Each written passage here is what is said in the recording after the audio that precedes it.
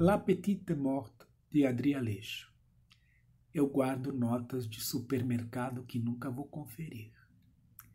Sobras de leite que nunca vou usar num bolo, coalhada. É. É que tenho coleção de coisas improváveis. Bilhetes daquela viagem que não fizemos.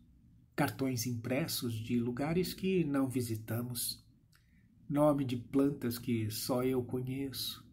Dialeto de ilhas pequenas perdidas no Atlas. Estas histórias que não publiquei são meus melhores poemas. Estes segundos em que você se calou são as mais lindas frases de amor